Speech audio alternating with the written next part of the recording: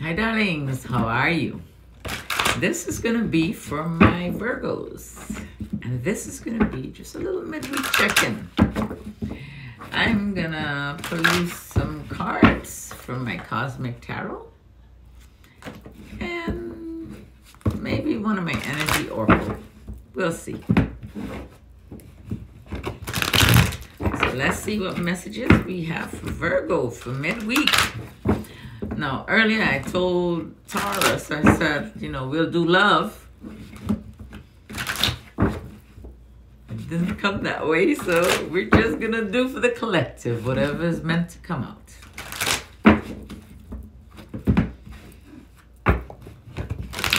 Maybe because they already had love around them. So, Virgo, this is for you.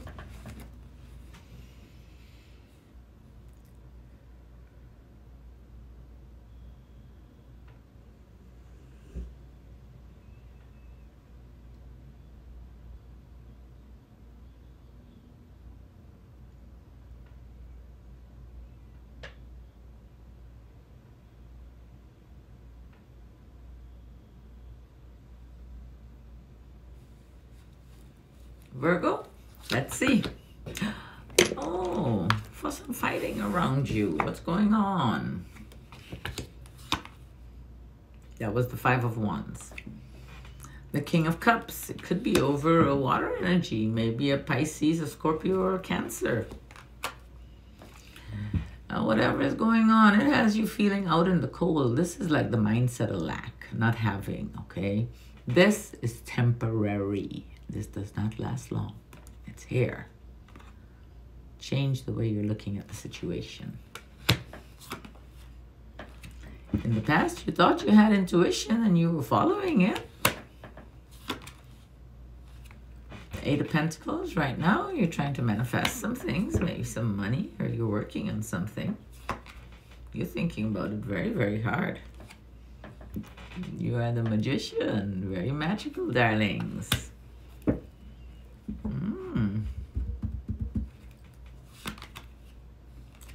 The death card, change. So this is going to change, okay? So it's temporary. There's an ending of something and the beginning of something new. The end of a cycle. Not all change is bad. You got the Empress here. This is about abundance. And it could be fertility as well, but this is about abundance. So in the world, something you successfully accomplish. Mm, not bad. And the Queen of Cups, there is a water energy in your environment. I said this is a Pisces, a Cancer, a Scorpio. And whatever challenges you're facing with this energy, you're you're above them. You're facing them head on and you're fine. They're pushing and you pushing back. But you got a decision to make. That's the Two of Swords. You've been thinking about walking away. Why?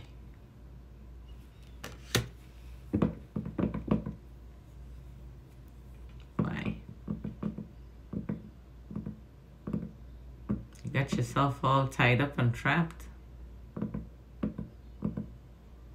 You can make the decision. You'll be able to make the decision the Two of Pentacles, you're guarding your heart.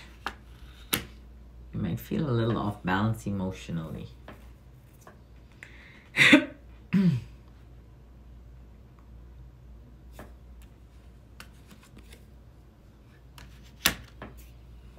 it's because something ended for you.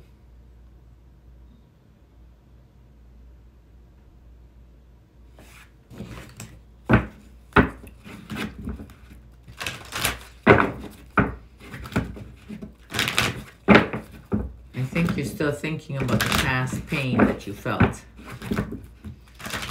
Don't block your magic. Don't block the beauty that's coming towards you.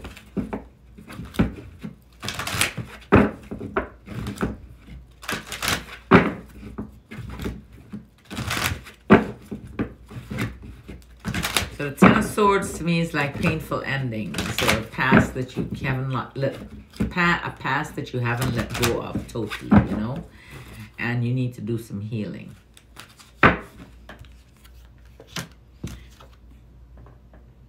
And this is the Princess of Swords. Now, you will be able to study the details, and I think you will overcome what is going on, okay? The Five of Cups, you feel emotional about what's going on. There's something going on in your environment that you feel emotional about. Anyway, the card that I got here, the garden and the gate. The garden and the gate.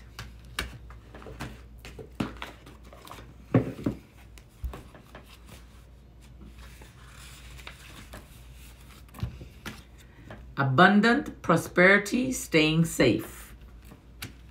This card shows a peaceful young woman in a beautifully blossoming garden with, with colorful flowers all around. However, the gate to the road outside the garden is locked while the girl wears the key on a chain around her neck. This card upright bodes well for the financial scene. In fact, there may be a lot of money or other personal pleasures coming your way at this time.